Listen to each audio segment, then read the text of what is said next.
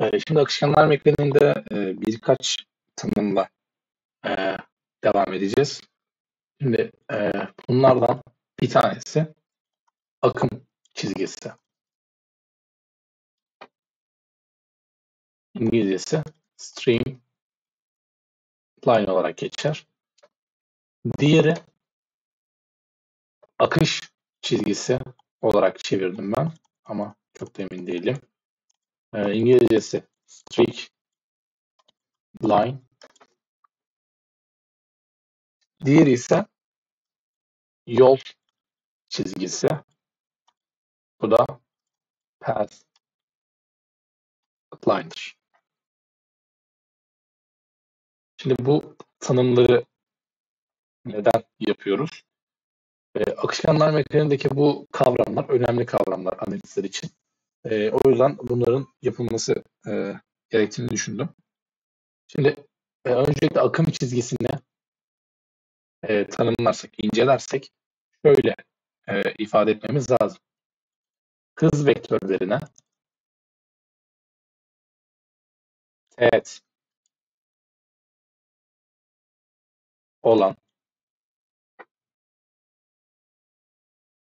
hız vektörlerinin tanjant çizgisidir. Şöyle de tanjant yazalım. Çizgileridir. Ee, tanımdan. Şunu da şöyle bir e, görsel olarak ifade edelim. Şöyle elimizde bir airfoil olsun. Şöyle bir şey olsun. Kötü çizdik ama. E, şöyle bir e, çizgi olsun. Ki bu çizgiyi de zaten biraz önce tanımladık.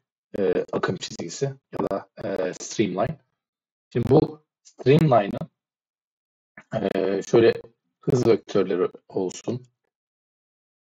E, bu hız vektörlerinin e, tanjantı e, bu e, akım için e, streamline olarak tanımlanır. Şuradan şuraya gidişi şöyle T0 T1 yapalım. T1 anı büyüktür T0'dan olarak tanımlamamız gerekiyor. Şöyle ayıralım bunu da. E, peki akış çizgisi nedir? Akış çizgisi de e, partiküllerin, partiküller diyelim, partiküllerin partiküllerin geçtiği çizgidir. Partiküllerin geçtiği çizgi. Parantez içinde yörünge diyelim. Bunu da şöyle ayıralım. Burada şu şekilde tanım olsa yine bir airfoil örneğinden yapalım. Böyle bir akış çizgisi olsun. Şimdi bu akış çizgisi aslında e, şöyle e, bu airfoil'in değiştiği bir işte T1 zamanı olsun. Şu anda T0 ve T0 anında airfoil bu şekilde. T1 anında airfoil e, yeni şeklinde. Şimdi airfoil'in şekil değiştirmesiyle birlikte e, haliyle akış çizgisinde de e, şekil değişimi meydana gelecek. İşte e, bu akış e, bu şekil değiştirmeyle birlikte oluşan e, akıştaki e, şekil değişimine e, akış çizgisi denir. Bu noktada T1 büyüktür yine T0 zamanında olarak özetleyebiliriz. Şimdi e, diğer bir kavram yol çizgisi ise e, bir partikülün izlediği yoldur. Partikülün izlediği yoldur. Ama e, partikülün izlediği yoldur. Yine şunu tanımdan e, partikülün izlediği yoldur. Yani spesifik bir partikülün izlediği yol. Spesifik partikülün izlediği yol bu partiküllerin izlediği yol. Bu da hız vektörlerine teğet olan e, çizgilere e, e, çizgilere denir. Burada da. Şimdi yine bunu da bir airfoil üzerinden örneklersek bunlar şu işte e, partikülün T0 anı olsun. İşte partikülün T1 anı, partikülün T2 anı, partikülün T3 anı olsun. İşte T3 anı büyüktür. T2 anından nokta nokta diyelim. Büyüktür. T1 değil. T0 anından e, olarak tanımlanır. Şimdi aslında tabii bunlar hepsi e, aynı gibi ama değil aslında. Bu e, benzerlik durumu e, akımın, akışın e, steady yani parantez içinde yazalım bunu permanent olduğu durum için evet yani e, aslında akım eğer e, permanentsa, steady flow'sa e, bu üç kavramda e, birbiriyle çakışıyor. Yani üst üste geliyor. Yani eğer e, bir akım permanentsa e, akımın streamline'ı da e, strict line'ı da e, path line'ı da e, üst üste gelir. Ama şöyle kendimize bir yol açalım.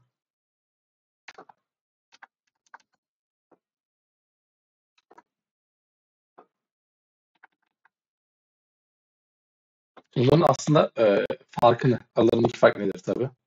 Onu şey yaparsak, tanımlarsak daha açıklayıcı olacak. Şimdi şöyle bir örnek yapayım ben. Şurada bir akım çizgisi olsun. Bir akım çizgisinin olduğu şey olsun. Bu e, akış çizgisinin örneği olsun. Birazdan çizeceğim. Bu da yol çizgisinin örneği olsun. Şimdi incelediğimiz problem ya da durum e, şu olsun. Her e, üç örnek içinde e, ilk 10 saniyede 10 saniyeye kadar e, bir rüzgar essin. Şöyle doğudan batıya. Daha sonra 10 saniyeden sonra da 10 saniyeden sonra diyelim 10 saniyeden sonra da rüzgar e, bunu doğudan batıya mı dedik ya? Pardon bu kuzeyden güneye. Burada da e, doğudan batıya bir rüzgar essin. Şimdi e, ilk 10 saniyede streamline yani akım çizgisi şu şekilde olacak. Çünkü e, kuzeyden güneye bir akım var. İlk 10 saniye için. E, o yüzden streamline'lar buradaki örnekteki gibi olacak. 10 saniyeden sonra için e, doğudan batıya rüzgar estiği için streamline'lar bu şekilde olacak. Çünkü hız vektörlerine e, teğet olan çizgiler.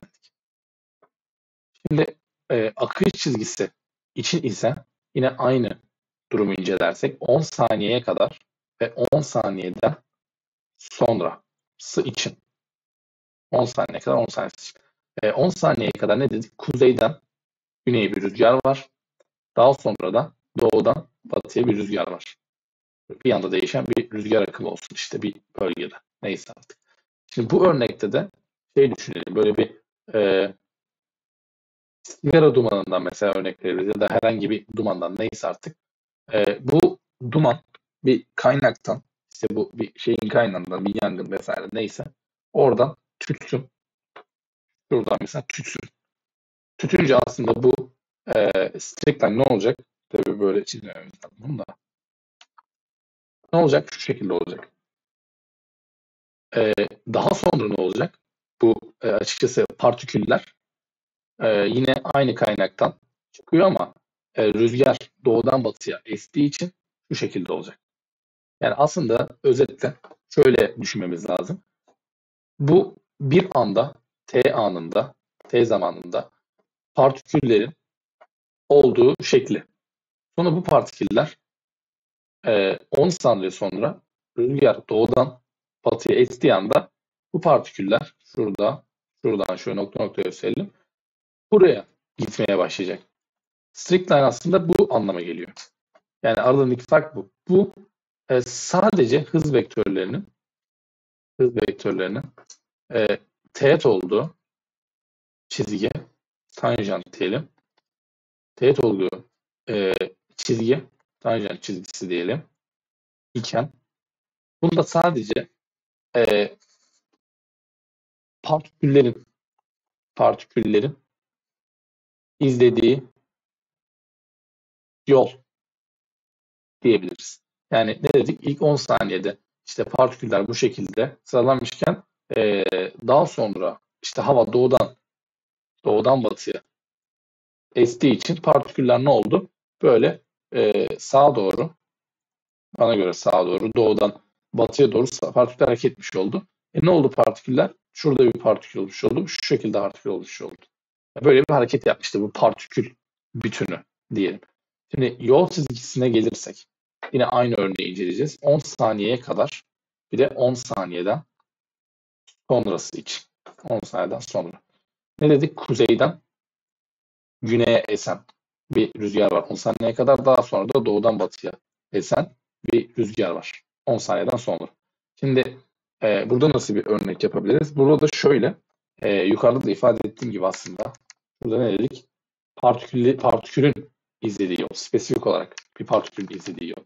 Şimdi ilk 10 saniyede bir partikül kaynaktan çıkıyor ve işte 10 saniye sonra buraya geliyor. Yani o zaman partikül izlediği yol bu 10 saniye kadar.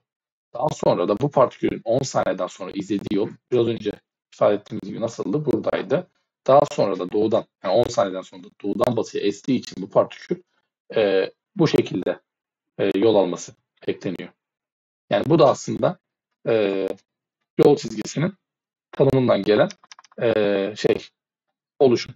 Özetlemek gerekirse ilk 10 saniyede akım çizgisinde yani streamline'larda bu şekilde 10 saniyeden sonra da bu şekilde bir e, çizgi bekleriz. E, akış çizgisinde yine aynı durum için